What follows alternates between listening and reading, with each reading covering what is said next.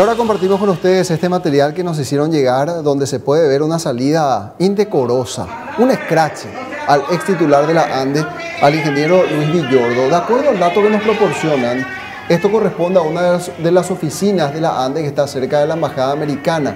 Escuchen ustedes cómo funcionarios, compañeros de Villordo, le piden que abandone la oficina. que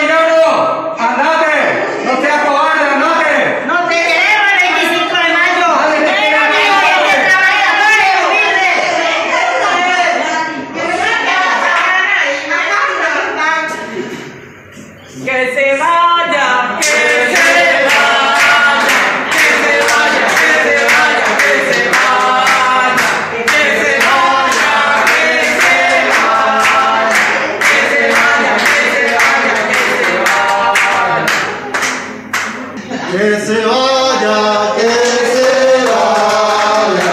Que se vaya, que se vaya, que se vaya, que se vaya.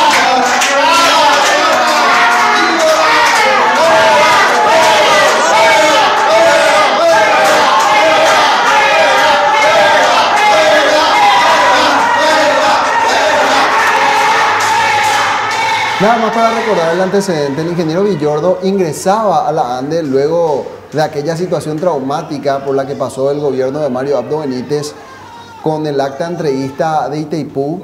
Lo trajeron para que él se haga cargo de la institución y luego sobrevino esta pandemia donde, hay que decirlo, no tenía lado el ingeniero Villordo porque la ciudadanía estaba disconforme por las medidas que fueron adoptadas por la ANDE. Ya ustedes recordarán todo el antecedente, las supuestas sobrefacturaciones, los funcionarios que no fueron a leer los medidores y que se hizo el promedio que no satisfizo las expectativas de la gente, pero también los propios funcionarios, porque en el periodo de pandemia se suprimió el beneficio del descuento del 50% que ellos tenían en sus facturas de consumo de energía eléctrica. Es decir, el personaje menos querido de la Administración Nacional de Electricidad del ingeniero Villordo abandonaba una de las oficinas de este modo, despreciado por sus propios compañeros.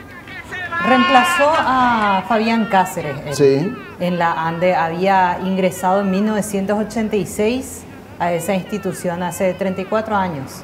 Es ingeniero electricista, también abogado y como vos decías, Roberto, qué pena retirarse así de un lugar. Fabián Cáceres que se había quedado como una especie de encargado de despacho en realidad, Sí. porque el titular de la ANDE fue el ingeniero Ferreira, Ferreira, que, que fue el que sacado. destapó todo el, el- el conflicto. Así mismo.